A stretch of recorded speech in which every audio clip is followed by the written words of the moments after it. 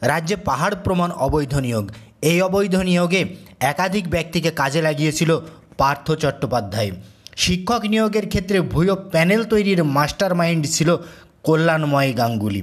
কল্যাণময় গাঙ্গুলি মধ্যশিক্ষা পর্ষদের প্রাক্তন সভাপতি, যার নেতৃত্বে এই ভুয়ো প্যানেল তৈরি করা হয়েছিল।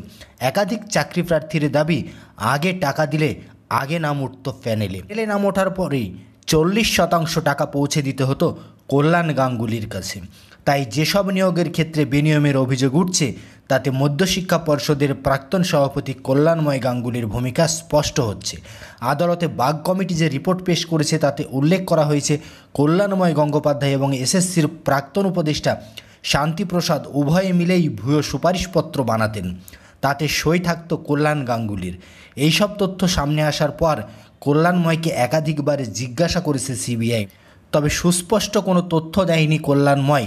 তবে সূত্রের খবর, সিবিআই যে তথ্য পেয়েছে তাতে কল্যাণময়ের ভূমিকা হান্ড্রেড পারসেন্ট রয়েছে ভূয় নিয়োগের ক্ষেত্রে। অর্থাৎ প্রচুর পরিমাণে টাকা কালেকশন কল্যাণময় করেছে সে বিষয়ে কিন্তু স্পষ্ট। দর্শক, একাধিক শিক্ষক যারা বেনিয়ম করে চাকরি পেয়েছেন, তারা অনেকেই এই কল্যাণময় গাঙ্গুলির দিকে আঙুল তুলছেন। কল্যাণময় গাঙ্গুলি নিপাট ভদ্রলোক ছিলেন।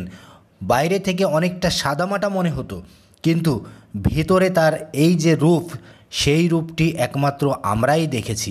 দাবি অনেক শিক্ষক ময় গাঙ্গুলি এবং শান্তিপ্রসাদ সিনহা দুজনে মিলেই কিন্তু পার্থ চট্টোপাধ্যায়ের সঙ্গে যোগ সাজস করে ওই ভুয়ো প্যানেল তৈরি করতেন।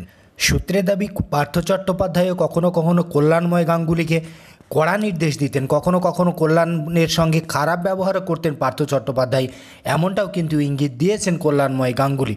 সিবিআই সূত্রের খবর, পার্থ চট্টোপাধ্যায় এক প্রকার জোর করতেন কল্যাণকে। পদে থাকতে হলে আমার নির্দেশ মানতে হবে, এমনটাই নির্দেশ দিতেন পার্থ চট্টোপাধ্যায়। আর নিজের পদ বাঁচানোর জন্যই কল্যাণময় গাঙ্গুলি এই কাজ করেছেন বলে দাবি কল্যাণের।